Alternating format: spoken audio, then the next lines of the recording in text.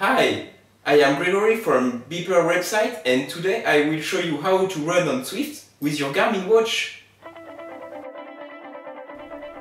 You need a Connect IQ compatible Garmin watch, for example a Fenix 3, an Android phone, an additional device with Zwift, for example an iPad.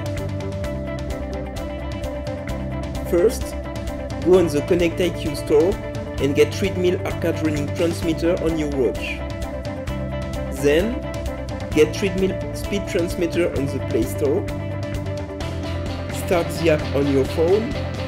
Select Garmin Watch. You should get a message on the watch.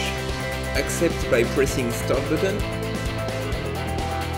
The phone with treadmill speed transmitter will act as a bridge between the watch and Zwift. It sends running speed to Zwift with Bluetooth low energy start Zwift. start running,